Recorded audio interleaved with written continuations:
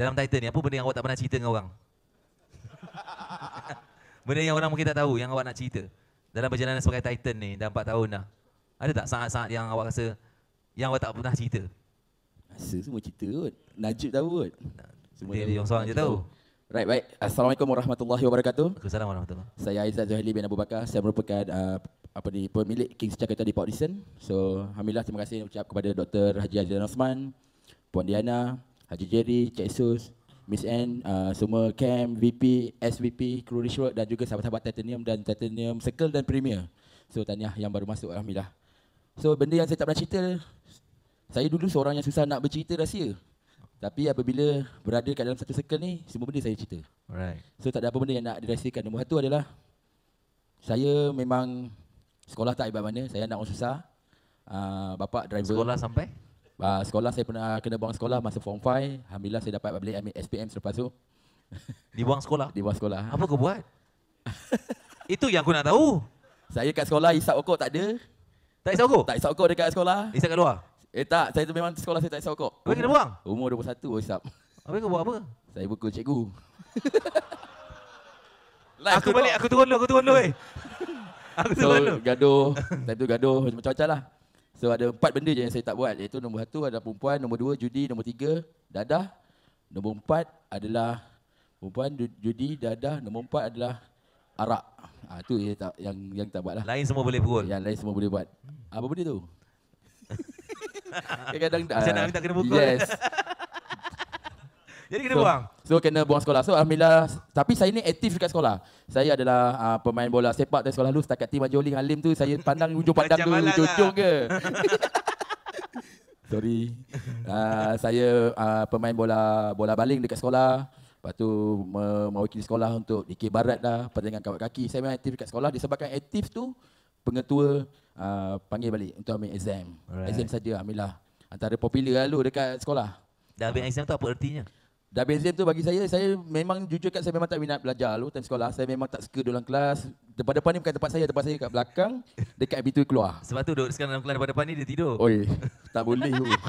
Minta maaf dah. Dia tenang je, dia Minta diam maaf, Allah. je. Tapi kalau kau tanya dia, dia boleh explain lagi bagus daripada kau yang buka mata tu. Allah, Allah. Yang macam celik sangat tu. Allah. Kan? Alhamdulillah. Kekuatan dia lah belajar dalam tidur.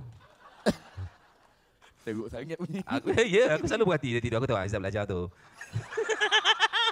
Kalau dia tengah macam mata tu dia belajar. Kalau das tak. Kalau das berjam tu memang memang betul-betul tu. okay. So, uh, memang tak adalah saya duduk depan ni, saya akan duduk belakang. Saya memang tak suka duduk Sekali jadi premier. Ha, Ambil bila bila dah jadi premier tu satu sebenarnya dia satu bagi saya satu anugerah yang sangat tinggi sebenarnya. Sebab apa saya ni kan apa pun sekolah kan pandai pun tiba-tiba di invite masuk premier tu cakap Time tu saya bincang dengan wife lah, ini dapat masuk premier ni. Dia cakap, pergilah dia kata. Betul, memang saya nak pergi sebab apa dekat luar siapa nak tengok kita? Siapa nak tegur kita? Tak ada. Dekat luar orang nak jahanam kita ramai. Betul. Orang nak cucuk kita ramai dekat luar. Nak jatuhkan kita melambat. Ramai. Setakat nak buka Jakarta tepi jalan tu kan semua orang boleh buka dah. Semua boleh buka kat tepi jalan je pun. Tanah pun tanah pajak. Bila-bila orang boleh ambil betul. So, apabila dah ada mentor tu saya saya perlukan satu uh, guide, satu orang yang betul-betul yang faham saya di mana saya bermula, yang faham apa yang saya punya perangai saya memang dok faham A sampai Z. Alhamdulillah macam kalau Mama Sab kata dok ni macam bapak lah yang tu kan. Uh, so dia seorang tuan guru yang saya sangat hormati. So kalau saya tertidur buat salah saya minta maaf banyak. Kadang tu kadang tu bukan saya tu. Kadang itu saka masuk apa.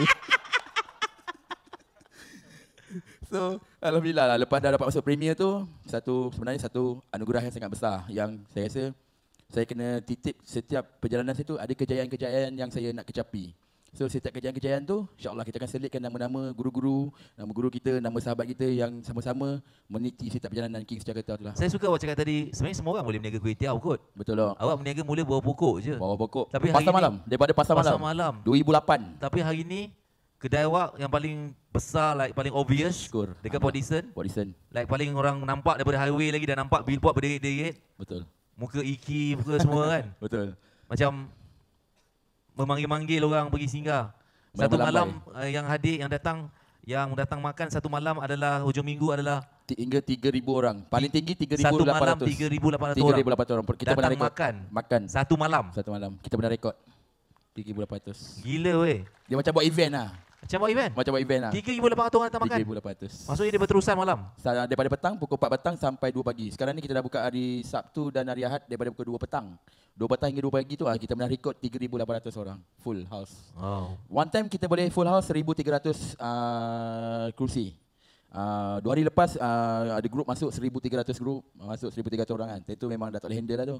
1,300 orang one Okey, time. serentak 1,300. 300. Bila dia tukar-tukar ni Tukar-tukar 3,800. boleh jadi tiga kali. Ha, dapat Alhamdulillah nak, kedai makan nak dapat tiga cycle full memang cabaran sebenarnya. Saya sebenarnya magic number saya dulu adalah uh, cycle. Uh, bila ada table, ada kursi, bila ni kosong rugi. So Betul. how nak bagi dia penuh. So nak kena tarik nak kena buat jadah, nak buat campaign, kena buat program, buat event, nak bagi penuh. Uh, bila dia penuh tiga cycle tu, uh, Alhamdulillah.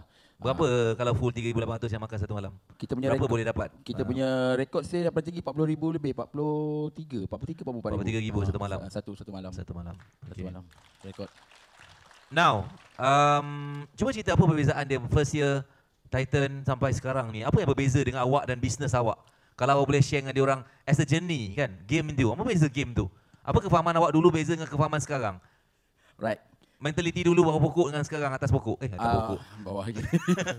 okay. Uh, dulu kita kecil, kedai kecil. So mentalitinya adalah sekadar nak run business ya dok. Sekadar nak buat duit.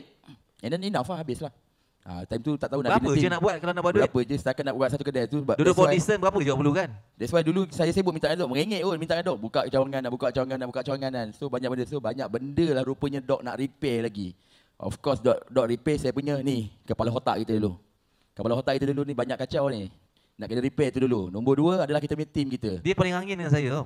Weh, saya angin dengan dok. Dia Saya angin. Saya tahu dia angin saya. saya ingat lagi dekat ICM uh, Itekon dekat Putrajaya kat Teferi. Tiap-tiap kali kalau meeting ICM dengan saya kan, Ah. uh, nak buka cawangan saya kata tak boleh.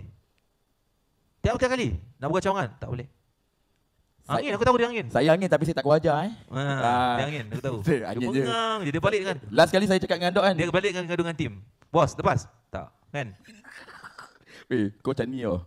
Dia cerita. Aku dah cerita. Kita dah set up lah semua. Dah set up semua. Mula-mula dok kata, okay, kau run dulu. Dah set up semua.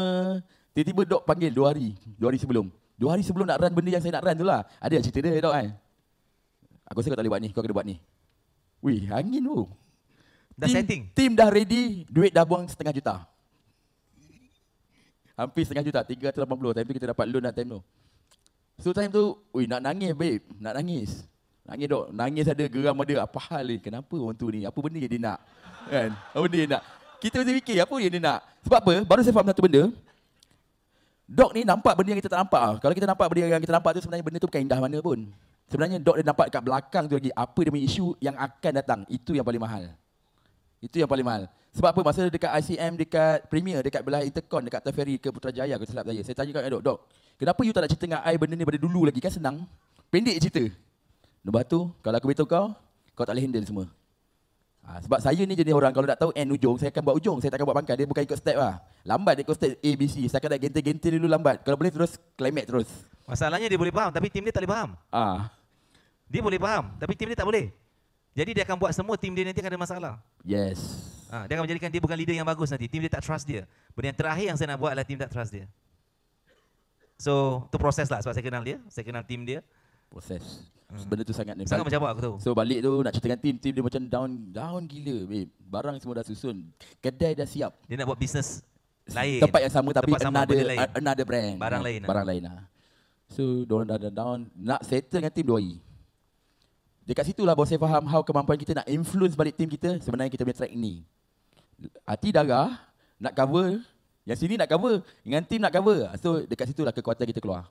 Time tu dok nak guna segala silap kuntau semua keluar. Nak meyakinkan tim sebenarnya kita yang silap. Kita tak nampak benda ni, benda ni, benda ni. So Alhamdulillah syukur dia boleh terima bila kita brand yang besar tu. That's why kita naik Malaysia buat record. Ah benda tu yang keluar. Betul.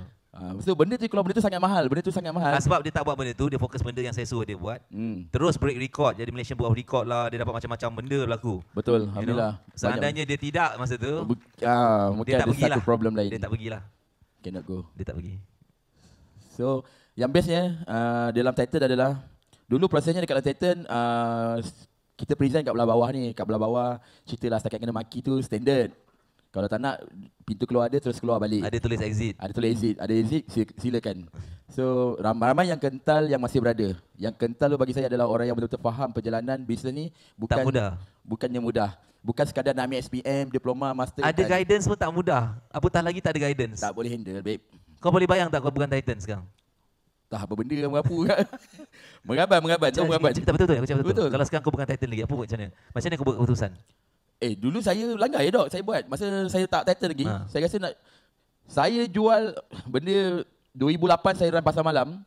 Time dalam pasar malam saya run, saya pernah jual kain baju. Saya pergi Vietnam ambil kain ela. Pergi jalan tak jual tudung. Setakat tudung Farida, kopi dia semua saya dah jual lah. Lepas tu jual kepek. Mu- Musim raya jual kepek. Uh, bulan puasa, selepas bulan puasa, saya dengan rumah saya, time tu kita orang tunang lagi. Tunang lagi kita ambil tender hotel, buat kuih. Buat kuih, saya boleh buat kuih. Saya boleh buat 23 jenis kuih. Setakat kulit popiah tu sayur je. Kulit popiah tu sayur pakai tangan je. Bukan cakap besar tapi betul. Uh, macam-macam kuih yang, saya buat saya dengan wife, saya bakal wife buat sebab kita orang struggle time tu nak kumpul duit kahwin. Saya umur 17 dah kena keluar rumah lah, pandai-pandai lah hidup macam tu. So time tu uh, sambil berniaga pasar malam tu ada buat kuih. Satu hari saya ada berniaga pagi saya jual uh, apa ni pagi saya pergi pasar uh, masa ni dah baru je kahwin. Pagi pergi pasar uh, naik van saya tu pergi beli barang-barang untuk nak berniaga uh, tengah hari jual nasi lauk bercampur ke hadapan Politeknik PD. Lepas tu petang tutup tengah hari petang pukul 3 petang dah pergi pasar malam. Saya punya wife saya dengan adik ipar saya dengan seorang lagi staff pergi ke pasar malam sampai ke Seremban Jaya. Seremban Jaya dengan PD dalam 45 minit 40 minit lah. Lepas tu saya pula petang tu pukul 4.30 petang lepas tu saya dah buka uh, kedai. Saya sewa kat dalam politeknik sebelah rumah uh, apa ni student politeknik saya buka kedai makan ada meja ada 7 8 meja time tu. Sampai 12.30 malam kan daripada tim daripada pasar malam balik dengan wife saya balik. Sampai kedai pukul 2 pagi, tutup kedai pukul 2 pagi, saya buka burger lah kat depan snooker, kat Polimall tu. Oh. Ha, lepas buka burger sampai Kau tak tidur? Sampai pukul 4.30 pagi, balik 4.30 pagi, balik rumah pukul 8, 9 bangun dah balik. Wow. Ha, itulah kerja saya hari dulu. Hari-hari, ha, macam tu lah berlaku. Hari-hari saya adalah duit, ambillah. Ambillah dengan wife, adalah duit. Lepaslah duit makan, tak ada menyusahkan orang, orang Jadi tua. kan okey macam tu? Dia dalam keadaan struggle iaitu pada tahun pertama tu sampai wife saya gugur. Tahun pertama dia gugur, test. Test tak boleh jadi, gugur. Jatuh. Nombor dua, tahun kedua, gugur juga. Masa tahun yang ketiga tu, uh, kita buka King's Jakarta. Cakap, uh, penat lah macam ni hidup. Macam ni hidup penat, kita cari satu tempat.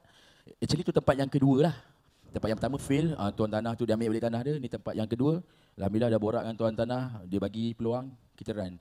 So bila dah run tu dekat bawah pokok tu lah dia story King Jakarta tu keluar.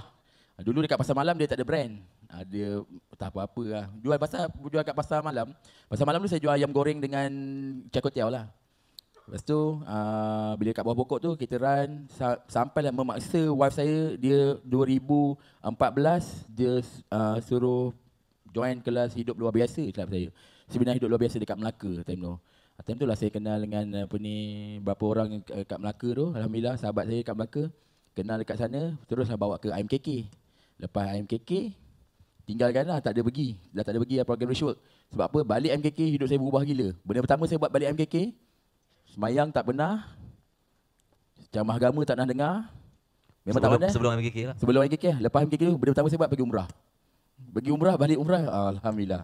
Lain lah. Benda tu jadi lain. Sampailah saya ke RKMJ.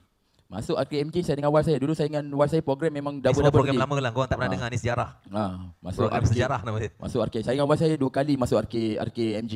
So, bah, dulu wife saya, kita, kita pergi kelas sama lah. Sama pergi kelas, sampailah uh, poinnya saya nak masuk Titan. Uh, wife saya kata, uh, you pergi. Sebab tu time tu Titan bagi saya agak mahal lah. Time tu kan. Rupanya bila dah masuk tu, saya memang kata, tak apa, you teruskan. Teruskan lah Titan. Dia pun setuju saya teruskan. Sampai dah satu tahap, saya dah selampau dalam Titan setahun, dua tahun. Time tu tak ada nak involve team sekali. Tak ada. Lepas tu biasa tu dia macam tepu dok, dia lambat. Dia naik satu juta, nak naik dua juta, dia tergigih Lambat. lambat. So bila lambat tu dia cakap oh dah masuk premier baru saya masuk Titan. Ah baru saya bawa team. Baru dia laju sikit.